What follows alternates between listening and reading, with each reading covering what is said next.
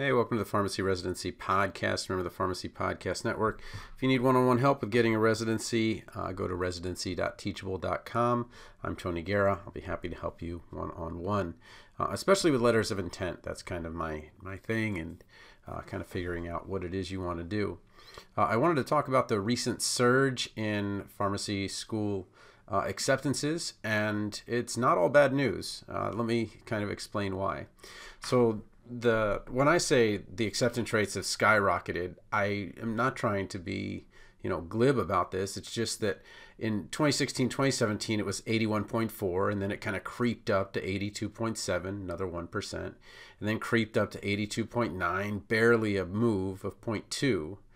But now it's jumped almost 4% to 86.8%, and then another almost 2% to 88.6. So acceptance rate to pharmacy school is likely to hit 90% um, this year uh, if these rates continue, uh, just adding uh, 1.4%. Now you'd say, okay, oh my gosh, now we're going to have this flood of pharmacists. But that is actually possibly not true.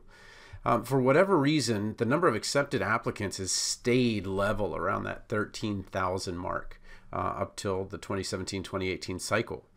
But then after that, each year consistently, uh, schools have lost another 500 students uh, each year of the accepted applicants.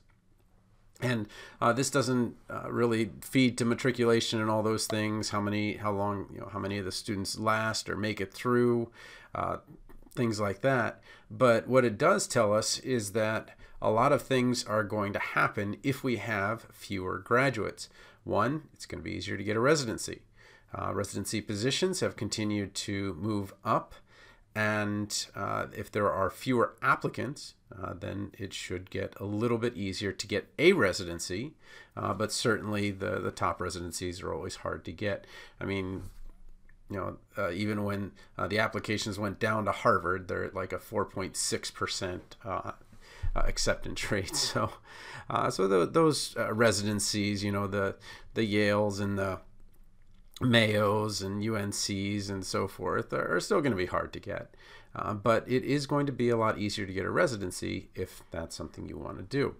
The second thing is it's going to be easier to get a job. We can see right now that there are a lot of open positions, and you're like, well, why did that happen?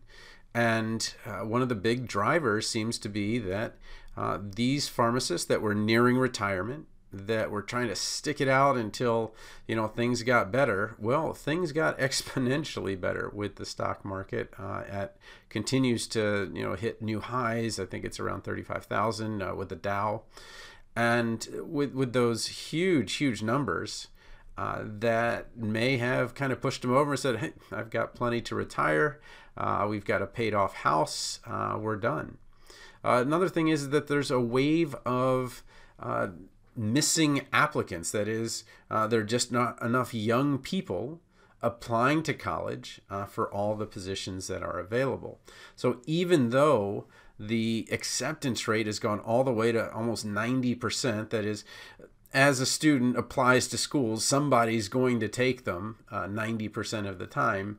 Uh, they pharmacy schools have still lost about 500 uh, students or accepted applicants each year over the last three years.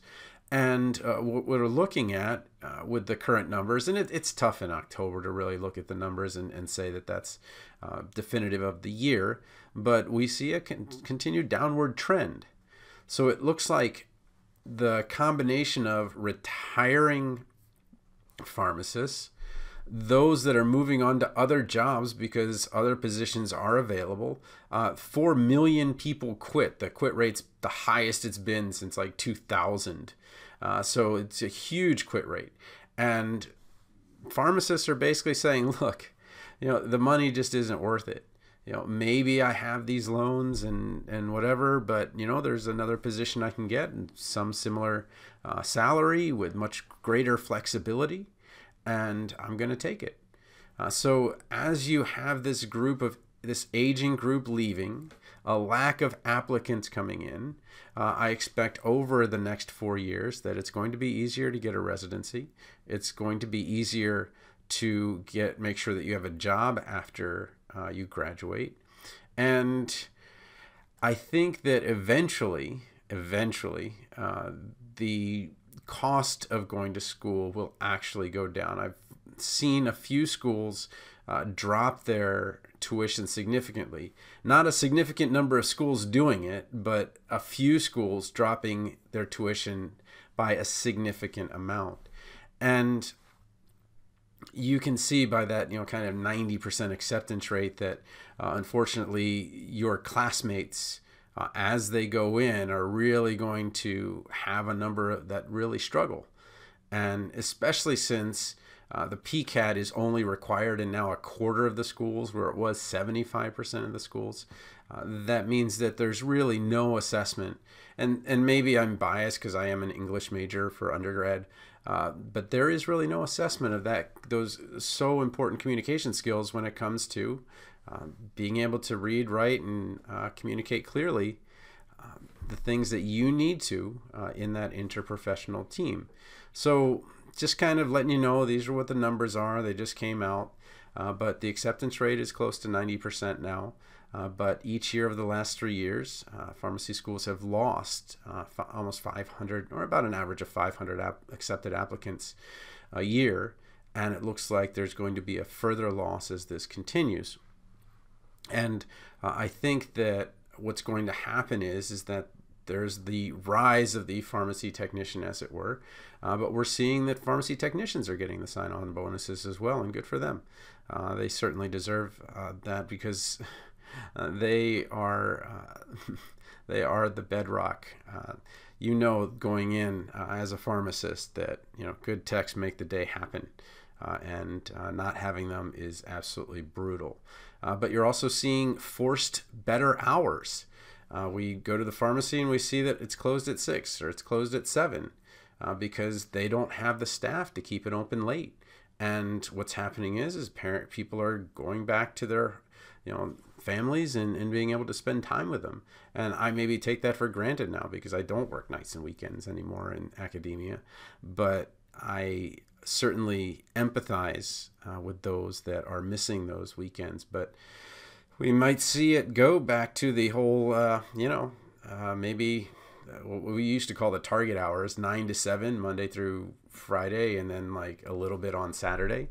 Uh, and maybe that'll be the thing with a you know one 24 hour store every once in a while in the metro.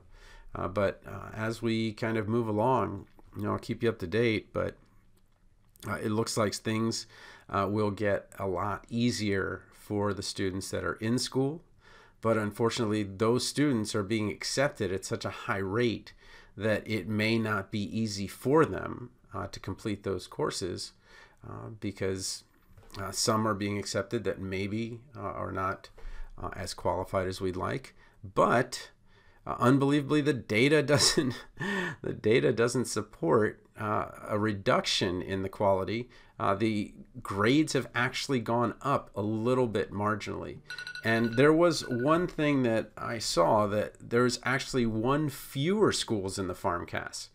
And that's the first time that's ever happened. The PharmCAS has always increased the number of schools that are with it. So whether it decided not to use the PharmCAS or it was removed uh, because of accreditation issues, I don't know. But, um, you know, uh, it's it's looking good to be a pharmacist uh, in the years to come, especially as we hit 2023, 2024, 2025, uh, as the data show that there are just going to be fewer coming out of school and many more leaving the profession. All right, if you need my help uh, getting that residency that you really want, residency.teachable.com, or just give me an email, tonythepharmacist at gmail.com. I'm Tony Guerra. Hope you enjoyed the show.